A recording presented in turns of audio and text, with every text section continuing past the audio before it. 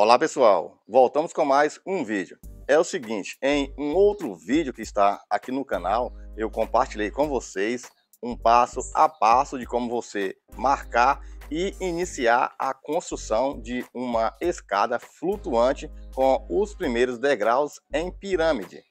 Lembrando que essa é uma escada de alto padrão, o qual ela vai ficar com uma viga dentro da parede e os degraus, como o próprio nome já diz, vão ficar flutuantes, dando uma impressão de que a escada está solta. Eu mostrei para vocês como que você marcava, como que você tirava todas as medidas e mostrei a forma já na parede, no ponto de iniciar a colocação dos degraus. E por falar em forma que fica na parede, a qual os degraus saem dela, algumas pessoas ficaram na dúvida. Ô Roberto, como que você fez a execução do corte da tábua, já que você não mostrou no vídeo? Às vezes a gente faz um vídeo que não dá para mostrar todos os detalhes, porque senão o vídeo fica muito longo. Mas nesse de hoje eu vou mostrar para vocês como que você pode cortar essa tábua e o tipo de ferramenta ideal para você fazer esses cortes. Bora lá. É o seguinte, pessoal, nós temos aqui ó, um disco Expert Carbide Multi Wheel com tecnologia em carbide. E o que é isso? É esse metal muito duro soldado a laser na ponta do aço do disco, que também é muito resistente. Caso ele venha cair no chão, ele não venha empenar ou correr o risco de quebrar. Para colocar em serra mármore ou esmerilhadeira. E por falar em esmerilhadeira, como a Bosch não para de inovar em tecnologia, ela trouxe mais uma, dessa vez a esmerilhadeira GWS 180Li. É uma esmerilhadeira compatível com uma bateria de 18 volts. Fácil de trabalhar em locais onde não tem energia elétrica e nem ter aquele transtorno de você estar esticando extensão ao longo do, do percurso onde você vai fazer a execução do seu trabalho. Muito prática e rápida para fazer a troca e o manuseio do, do disco. Por que eu estou falando em manuseio do disco? Porque além do encaixe tradicional circular, a Bosch também trouxe o disco Expert Carbide Multi Wheel nesse formato aqui, ó, X-Lock. Para que isso? Para facilitar o encaixe, onde você não vai precisar de uma chave para estar tá apertando. Apenas colocou, ela fez um clique no seu disco X-Lock, já está colocado na sua esmerilhadeira no ponto para você fazer a execução do seu trabalho. E quais são o diâmetro dos discos encontrados no mercado dessa linha, Roberto? Bora lá que eu vou te mostrar. Aqui nós temos duas ferramentas muito usadas no nosso dia a dia. A serra mármore e também a esmerilhadeira. Então, a Bosch não ia deixar de fora essa ferramenta. Pronto, trouxe aqui o disco Expert Carbide Multi Wheel para serra mármore, com o tamanho de 110 milímetros. E aqui tem esses discos aqui, pessoal, que você pode estar usando na sua esmerilhadeira. Esse que eu acabei de mostrar aqui, ó, o X-Lock. Temos esse de 125 milímetros e também o de 115 milímetros. Ambos para você usar na sua esmerilhadeira. Todos esses discos cortam diversos tipos de materiais, fazendo o que? Facilitando a sua mão de obra e a troca de disco para cortar materiais diferentes. Sem contar que a Bosch também disponibiliza o disco no diâmetro 76 milímetros para as mini esmerilhadeira de 12 volts. Agora vamos fazer uma pequena demonstração mostrando o uso desse disco em materiais diferentes.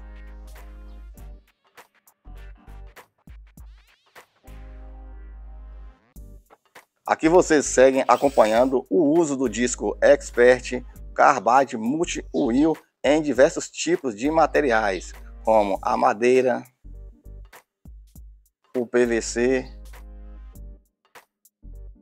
o drywall, o alumínio e dentre outros materiais. Só lembrando, pessoal, ao comprar qualquer ferramenta Bosch usando o aplicativo Bosch by Connect, você terá um ano adicional na garantia. Isso é bom ou não é? Pronto, com todas essas dicas para vocês que nós deixamos aqui, agora vamos para a segunda parte da nossa escada flutuante com os primeiros degraus em pirâmide. Bora lá! Então, pessoal, como vocês vinham acompanhando, nós colocamos a forma no local apenas para definir a escada, mas foi preciso tirá-la novamente para fazer a confecção da ferragem. Nesse ponto aqui, vocês veem que nós grauteamos seis ferros 10 milímetros dentro do pilar, o qual vai receber essa escada. Assim que o armador concluiu a armadura da viga que recebe os degraus, nós voltamos novamente com as formas. As formas que eu digo é porque vamos colocar uma segunda forma na outra lateral, compatível com a parte do fundo da escada. Essa forma é para receber os degraus que nós vamos colocar, o qual vamos mostrar para vocês agora.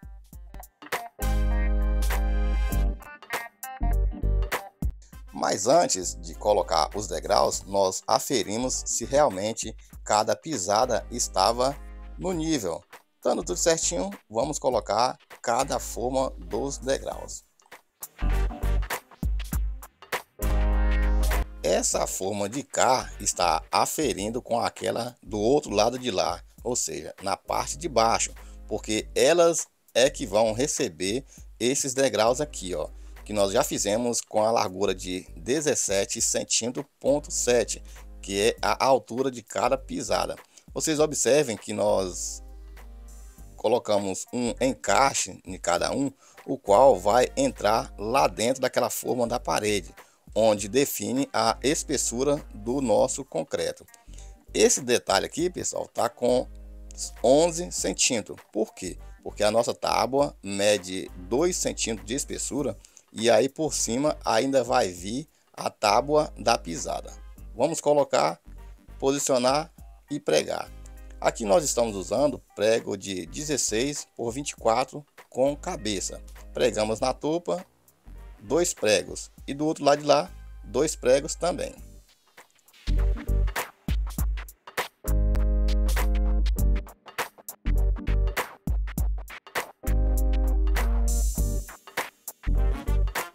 Assim que colocamos essa forma do espelho, vamos colocar uma da pisada sobre ela para garantir o alinhamento e o nivelamento de cada degrau.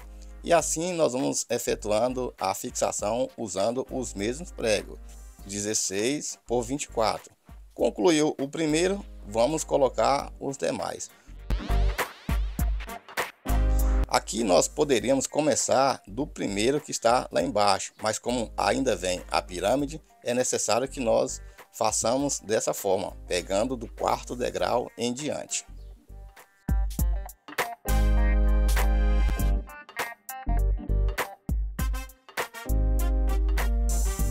Aqui é o seguinte, pessoal, a nossa escada já está definida, lá é o primeiro patamar e naquela outra parte ali vai ser o segundo patamar. Depois nós vamos dar continuidade a essa parte aqui de cima, onde é a chegada da escada. Mas nós já definimos os oito degraus aqui, ó, como vocês acompanham. E nessa parte de baixo aqui é o terceiro degrau, o qual ainda pega no respaldo dos demais. O respaldo que eu digo é esse alinhamento aqui, ó. Porque nessa parte de baixo aqui é onde já começa a pirâmide. Aqui vai ficar um degrau com 63 centímetros de largura e ele já sacou aqui, ó, 31 centímetros, ou seja, a mesma largura que o degrau dá aqui, ele sacou para cá. O de baixo, a mesma forma, ele vai sacar a mesma medida, o qual vai ficar no alinhamento do degrau de cima, dando assim o efeito pirâmide. Para fazer esse primeiro degrau aqui, ó, nós fizemos já a marcação, porque esse primeiro degrau ele vem 80 centímetros do alinhamento do corredor aqui, ó, que no caso é a parede. Aí nós tiramos 80 centímetros para cá, fizemos essa marcação e a largura ficou com 2 metros e 4 centímetros, que é a mesma largura do vão aqui, ó, entre uma coluna e outra, que é a largura total da escada. Então nós vamos confeccionar esse primeiro degrau, fazer a concretagem dele para dar continuidade aos demais, porque senão nós não conseguimos tirar as formas depois. E para não ficar um vídeo muito longo, vamos mostrar o passo a passo dessa pirâmide dos degraus dessa escada flutuante no terceiro vídeo dessa série. Te espero lá. Então, pessoal, esse foi o nosso vídeo de hoje. Eu espero que seja útil para você aí. Espero de coração que você tenha gostado. Se gostou, deixe aquele joinha. Se for novo por aqui, se inscreva no nosso canal. Até o próximo vídeo. Um abraço a todos.